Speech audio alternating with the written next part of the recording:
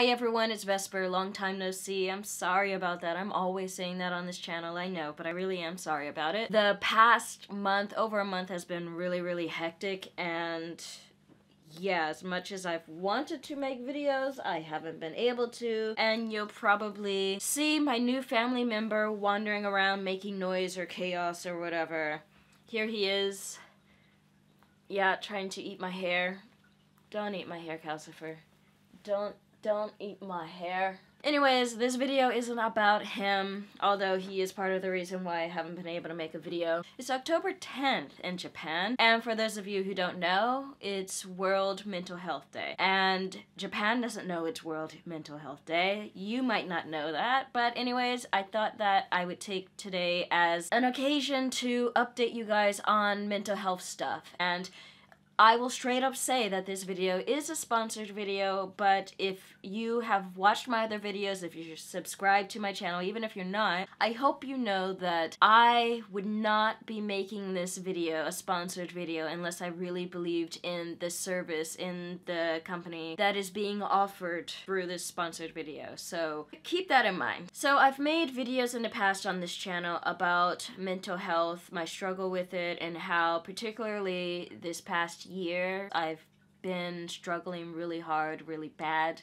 with my mental health, depression, anxiety. And I made a video back in July documenting or just describing how I finally went to a psychiatrist and tried out medication for the first time. And it was a long struggle to even get to the point of trying out medication, but if you look back at my old video, I'll put it around here somewhere. I talked about my first visit with the psychiatrist and the first week of being on antidepressants. So that was back in July. It's now October. I've been on antidepressants for the same antidepressant for over three months now, and I just want to give you guys an update on that really briefly, and then I'll talk about my latest adventure with therapy. And if you have watched watched those previous videos, you've probably heard me talk about therapy in the past because I, I don't know, I feel like on this channel I've talked about therapy always as a skeptic, not in terms of therapy in general, but specifically in terms of what therapy can do for me in my personal situation and stuff like that. But now that I've actually tried it a little bit, I want to let you guys know how it's going because it might help you guys too. So back in July, I went to, as I said, my first psychiatrist, and he put me on 50 milligrams of sertraline, sertraline. I say put me on, but I I decided to go with it because literally at that point I was just my mental health was so bad that, you know, I felt like nothing could make it worse, but I wanted to try to make it better, so I tried medication. And I was on the 50 milligrams of sertraline, sertraline for a little over a month. And by that time, it had most of the side effects that I talked about in my other video had more or less disappeared or become manageable enough that I didn't really notice them. Except for one side effect that I actually didn't talk about much in that first video because it didn't really hit me that that was a side effect until after I'd already made that video. That side effect is fidgeting. I think I mentioned it kind of briefly in the other video. I have never been like a really extreme fidgeter or anything, but since being on antidepressants, I fidget a lot more. And I have a fidget cube. I have two now actually. And I have like three fit fidget spinners or whatever. And I also have this fidget ring. This is the best thing out of the three things I've just talked about. But anyways I fidget more and I'm restless more, and that has actually exacerbated another really bad self-destructive habit that I've had for forever, which is, and this is gonna maybe be TMI, and you probably don't want to hear it, I won't go into detail, but I have a really bad problem with skin picking. It was always manageable until, I mean, it's a lot harder to manage now that I'm on antidepressants, especially when I go up in dosages and stuff like that, I literally destroy my skin in the most the most terrible ways that I've ever done in my entire life.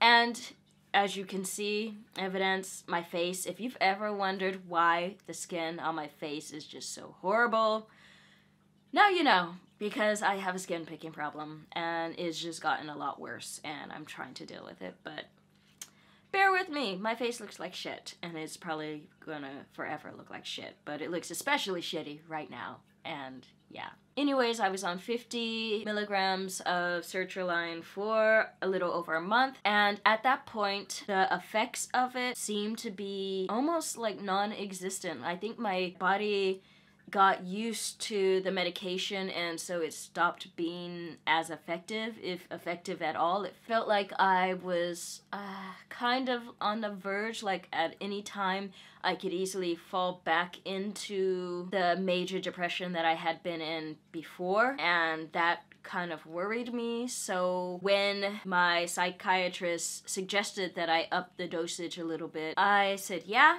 And so I went up to 75 mg and I stayed there for I think a month. And going up to 75, I didn't feel much of a change at all. The symptoms, or rather side effects, that I had initially gotten when starting that medication didn't really resurface or anything under 75 mg. I think because it's such a small incremental increase. And I was on that um, for a month and then I went up to 100 mg.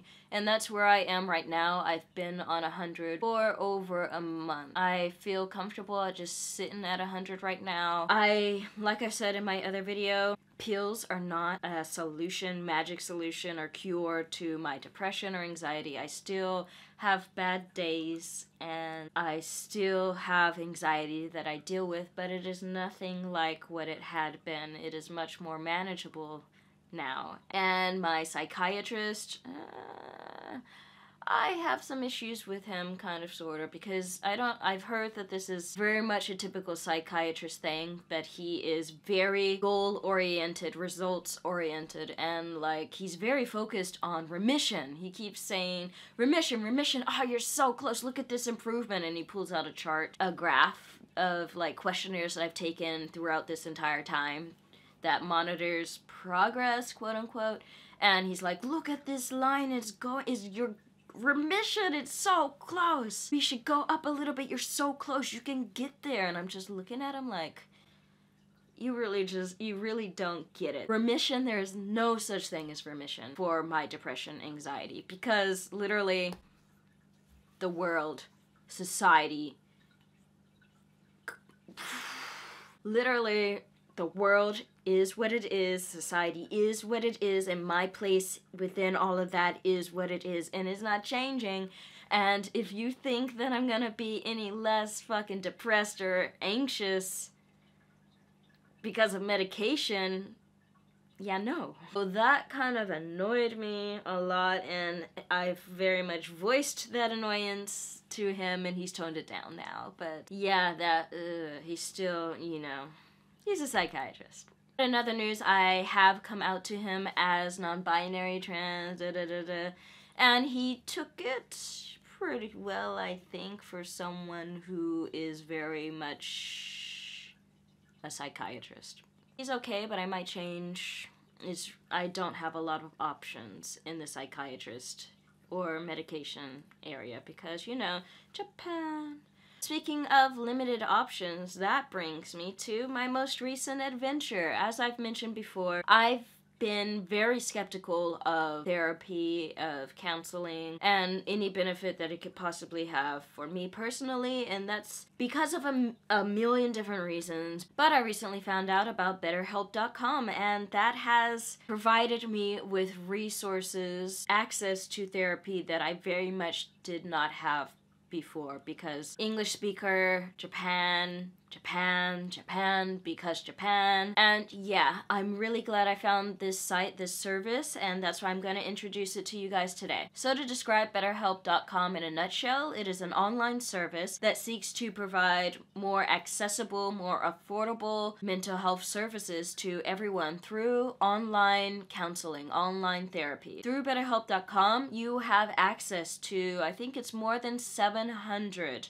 700 licensed, certified professional therapists. And the really good thing about this, especially for someone in my situation, is that it provides me with access to these services without being in the US, without being in Australia. I have access to English speaking, native English speaking therapists, a large selection of native English speaking therapists, but not just native English speakers. This site is offered in a number of languages, Japanese even. So I think that not only adds to its accessibility because you know so many online resources are specifically focused on English speakers, specifically native English speakers, or they're very localized, specific to the US, specific to Australia.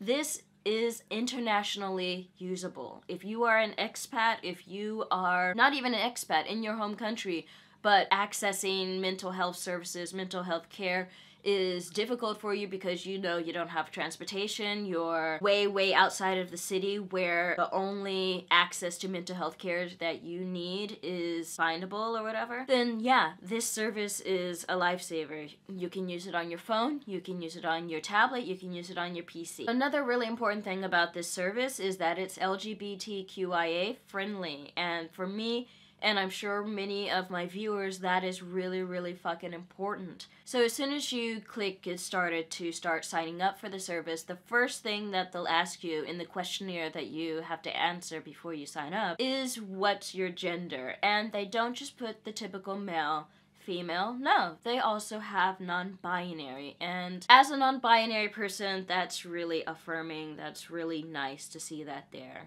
So once you get through the initial sign up process, then you are taken to a page where you can specify certain things about the therapist that you work with. So you can specify the gender of the therapist that you work with. You can specify are they religious or not. You can specify if they're gay. You can specify that they have experience with certain things, for example, certain mental health issues or trauma, things like that. That's really important because that is part of the problem that I'm faced with in Japan is that I don't have those options, the ability to specify so much about a therapist that I potentially go to. So I really appreciate that being available on this site. And if, in fact, if that wasn't on this site, I probably wouldn't be using it, to be honest.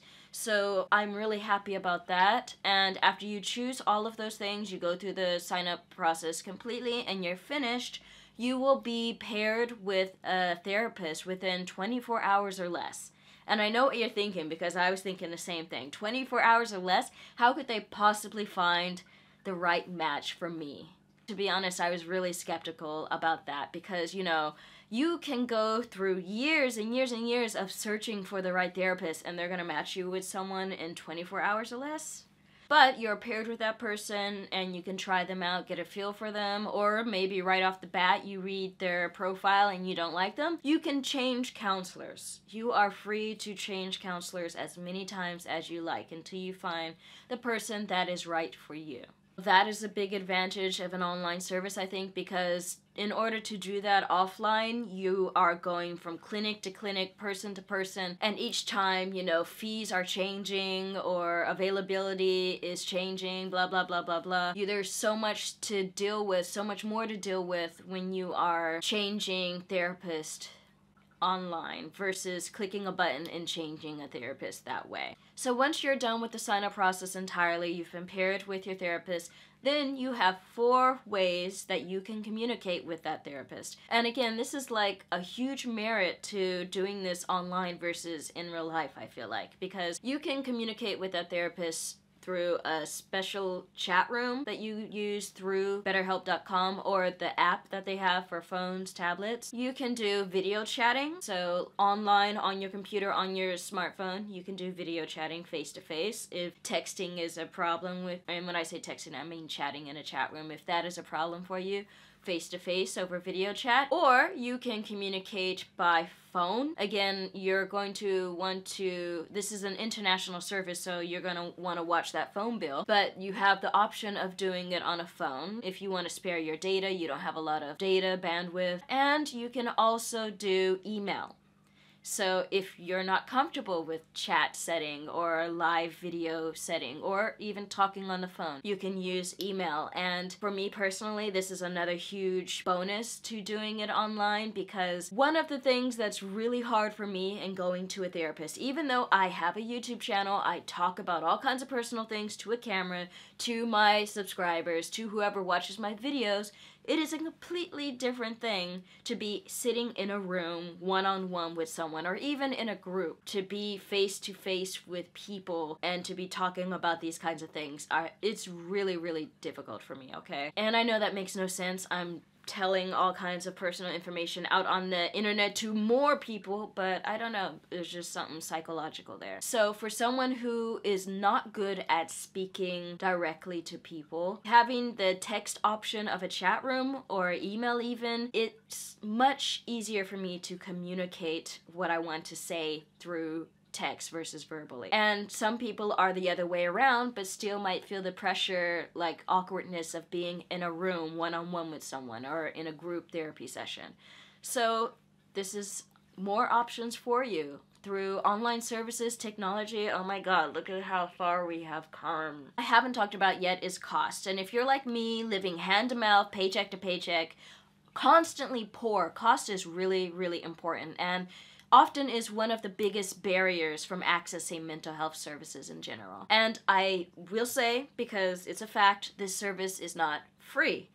But they, like I kind of mentioned earlier, they strive to be affordable, accessible. You can access this service from as low as $35 US dollars a week. And if you compare that going to going to a therapist offline in person, you're saving a lot of money. Like even my psychiatrist that I go to in person, one time a month costs several times that. So I want to be clear, yes, this is a sponsored video, but I really, really really am happy that this service exists at all because like I really can't say how important it is to someone in my position as an expat with everything else added on top of it on top of that to be able to access this from Japan. Even like I mentioned the LGBTQIA friendliness of it and the other bonuses but also there are therapists who are people of color black, Mexican, Asian, whatever. And they even offer services in other languages. It's not just English. That means a lot to me because, you know,